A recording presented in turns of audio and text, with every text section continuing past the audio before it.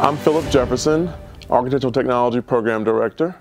I'm talking about Michael Molesky, our student of excellence. Um, he started with us in the spring of 2021, and since then he has shown a strong interest in architecture and landscape architecture. In the beginning, it was hard to figure out what his interest was, but after a few more classes, he figured out his path. He became involved with our AIAS chapter. He was elected treasurer, and now he's our student president. He has shown so much promise.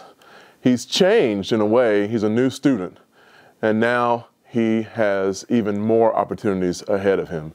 He's our current lab tech for our department, and I don't know that we could do the things that we do now without his help. And so I only see great things for him in his future. So congratulations. My name is Melinda Rathbone, and I am an instructor in the education department here at Wake Tech. I've had the privilege of working, um, having Boomy O uh, in classes, being one of her instructors, since she started taking education courses back in the fall of 2021. Boomy just has this you know, way about her. She sees the best in everyone, and she, when you're with her, you just feel heard, seen, and respected. Whether you're a classmate of hers, whether you're an instructor, or whether you're a child, she um, models just her excitement and her exuberance for learning and learning best practices of working with young children. She's going to be a gift to the teaching profession and to a whole lot of young children. Hi, I'm Brenda Maddox, Department Head for Dental Hygiene at Wake Tech and I am proud to announce a nominee for Health Sciences of Cynthia Garcia Cruz as an Academic Excellence Award. Cynthia has been with our program since the beginning of 2022. Um, in August, when she was accepted into our program, she's been a Wake Tech student actually since 2019. She is a outstanding student in our program that accepts all feedback that we give her. She's a team player. She works with her classmates well. The faculty love her. Her patients love her.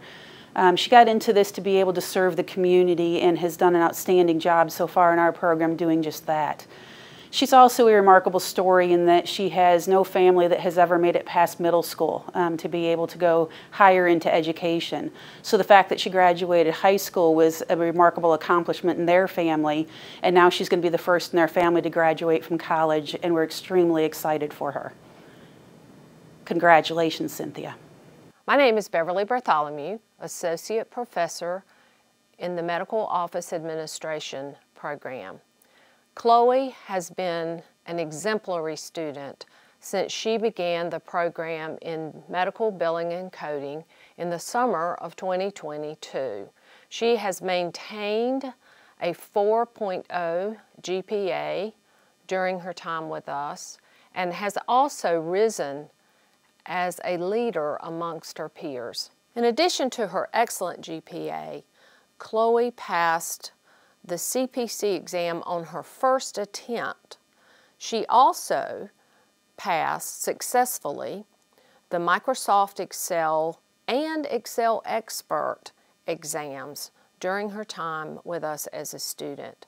Some of the words that her instructors have used to describe her are driven, eager to learn, respectful, professional, committed, resourceful.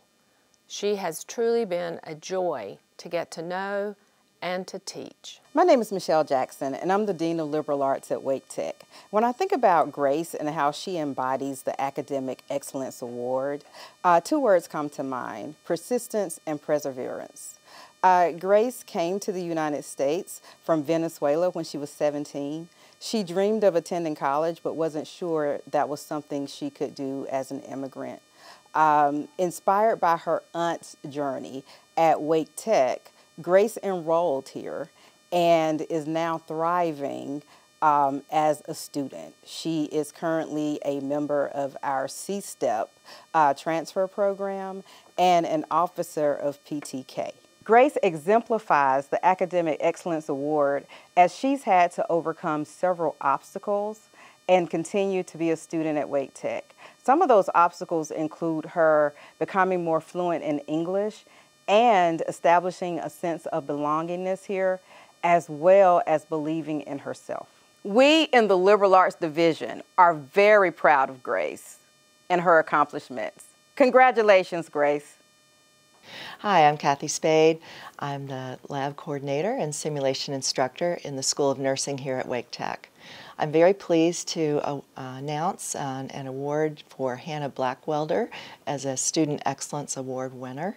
She's very deserving of this award. Hannah is a leader in our, on our campus as well as in our community.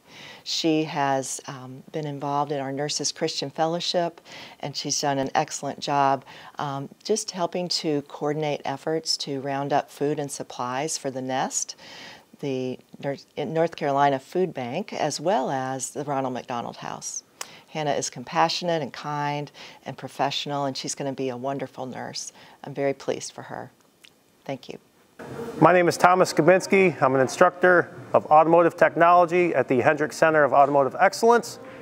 Andrew Raspberry, we'd like to congratulate you tonight for all that you do here at Wake Tech, in the classroom, in the lab, and outside with your efforts with the American Red Cross. Andrew, we'd like to say thank you for all you do here outside of Wake Tech as well. Congratulations to you and all our winners tonight.